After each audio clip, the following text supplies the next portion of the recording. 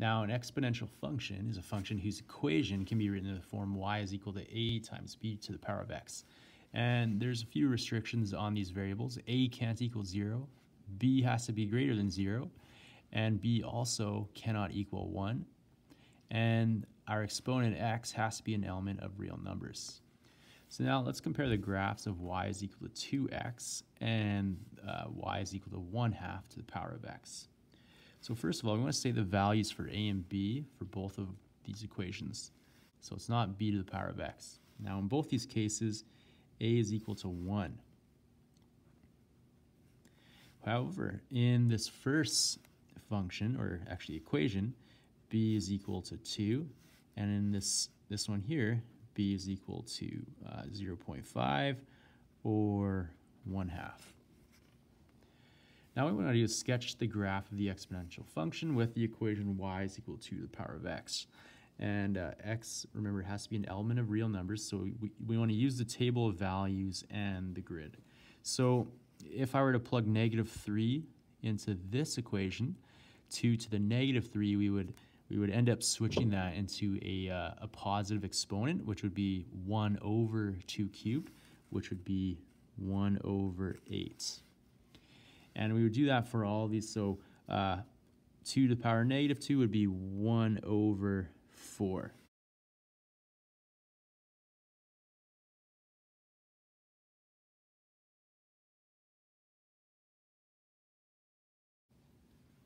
Um, so we're going to use these table of values and I'm going to plug it into my graph here. At negative 3, I'm at 1 eighth. Negative 2, I'm at a quarter. Negative 1, I'm at a half. 0, I'm at 1 and so on and so forth. And here, here my graph is moving upwards. So y is equal to 2 to the power of x. That was our first graph. Now we're going to do the same thing. We're going to repeat these steps with my other graph. So 1 half to the power of x. And um, I'm going to I'm going to take the same approach. And so if I have a negative 3 here as the exponent, then remember, in order to make this negative 3 a positive 3, all I got to do is, is flip this. And so when I'm at negative 3, this is going to be at positive eights, And we're actually going to be working our way uh, almost in reverse. And so at negative 2, this is going to be 4. And so all I'm doing is I'm taking this value of x, plugging it in for my exponents and simplifying. Negative 1, I'm going to be at 2. At 0, I'll be at 1. Uh, to power of 1, I'll be at 1 half. And then I increase 1 fourth, 1 eighth, and 1 sixteenth. Now I'm going to take these values and I'm going to put them into my graph. Here's my second graph, and as you can see, it's actually a reflection of my first, my first graph. Now, one thing that we need to notice is that this line here is not actually, so my, my line that's approaching my x-axis, either of these lines are actually going to cross the x-axis. So these are what is known as an asymptote. And what an asymptote is, is a line whose distance from a given curve, and so this curve here, gets closer and closer to zero. So it, it's always approaching zero. And in the above graph, uh, the x-axis is where I have a horizontal asymptote. So it's like this invisible line that approaches um, my, my x-axis. And so we're going to complete the following chart here. So first of all, uh, for y is equal to 2 to the power of x, we want to state the domain of our function. So the domain of our function is x is an element of real numbers. So our values of x of x for um, my first graph, which was y is equal to the power of x, they're always there's always increasing and decreasing towards any value of x.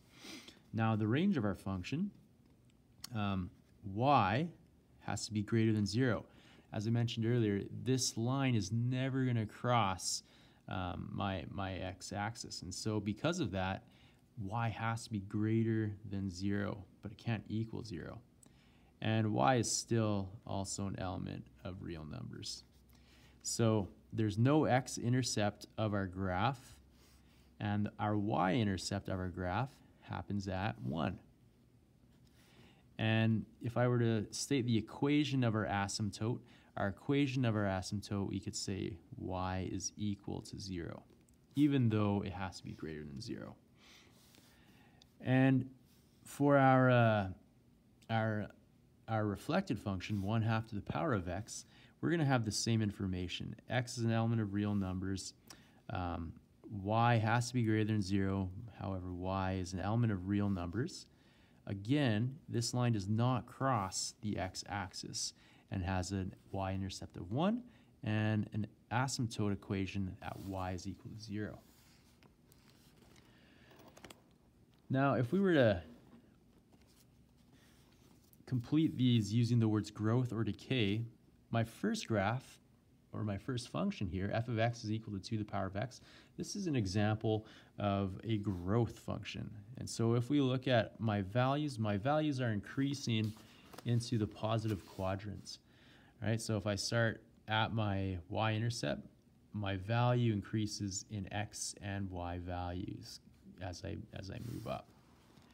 Uh, however, my second function, this is an example of what is known as a decay function.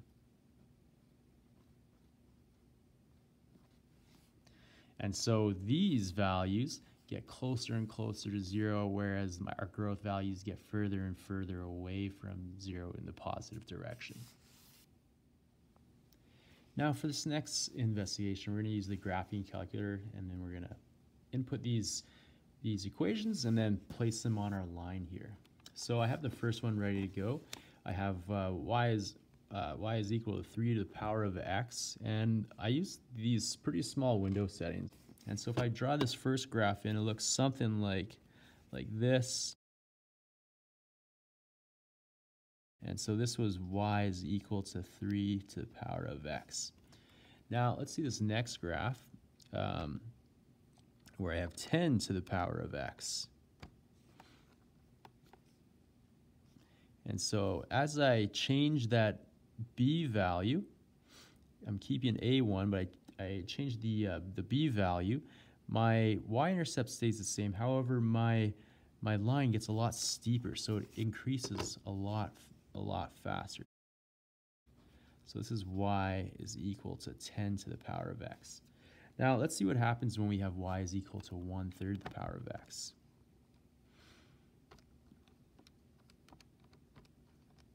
So 1 third the power of x is going to open the opposite direction. It's a reflection of our first graph, and so it looks something like this. This is uh, y is equal to 1 third power of x. Now our next graph is going to actually look something like this. It's going to be a reflection of our second graph. And so this is y is equal to 1 over 10 to the power of x. So if we plug that one in, it's going to be opening here.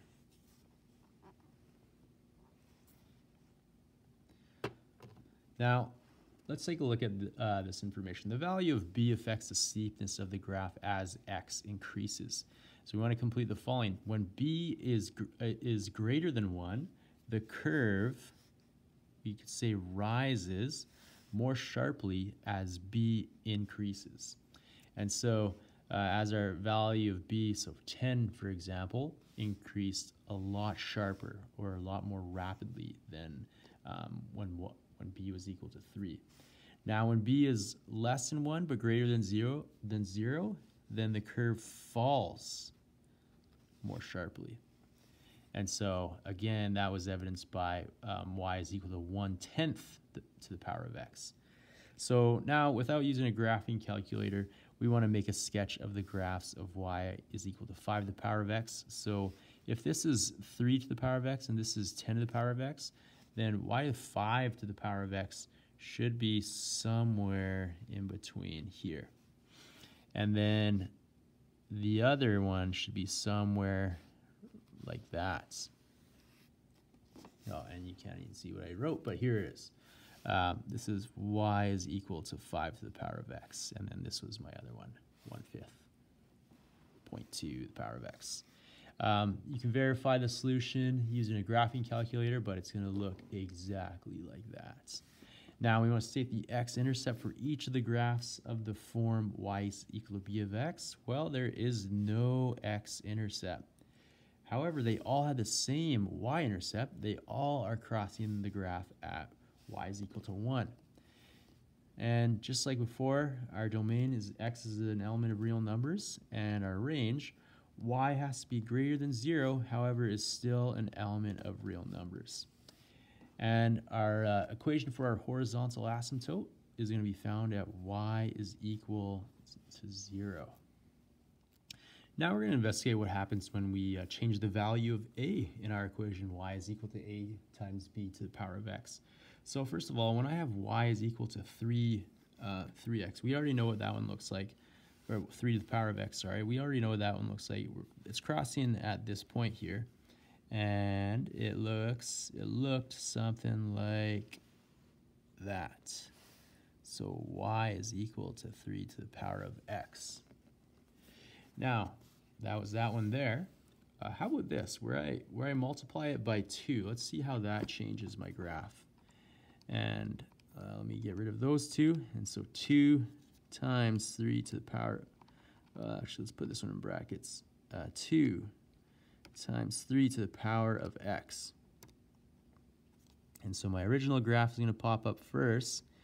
And my next graph should be popping up right there. Bam, at 2. So it starts pretty close to the same place, but then it crosses at 2. So this was y is equal to 2 to the power of 3x.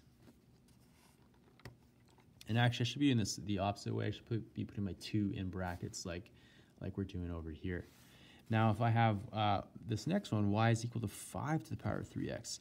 Well, it's probably going to, so this is 2, 3, 4. It's probably going to cross right here, but let's double check. So 5 to the power, or 5 times 3 to the power of x. So up here, there we go.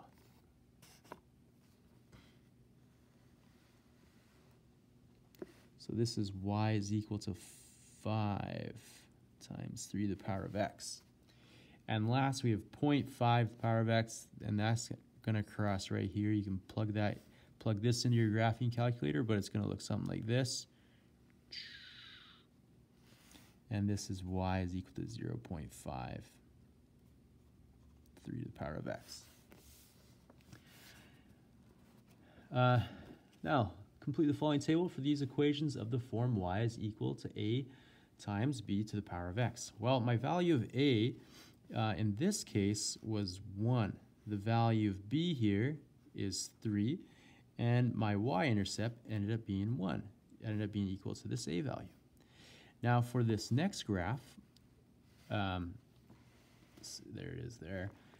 there actually get everything in frame. Um, my value of a was 2, my value of b was 3, and the y-intercept was 2. So here we had a value of a 5, 3, and 5, and 0 0.5, 3, and 0 0.5.